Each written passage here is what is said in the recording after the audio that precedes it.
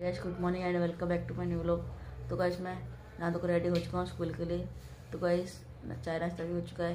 अभी मैं स्कूल जा रहा हूँ। तो गाइस आपसे स्कूल से आने के मिलूँगा। मैं स्कूल से आके कपड़े चेंज करके ट्यूशन चला गया था। अभी आया हूँ ट्यूशन से। तो गाइस अभी मैं चाय पीकर बैठा हूँ। तो गाइस मैं ट्यूशन से आके सो गया था।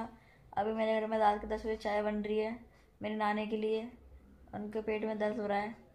Good morning this is the next day तो गाइस कल ब्लॉग ज़्यादा नहीं बन पाया था।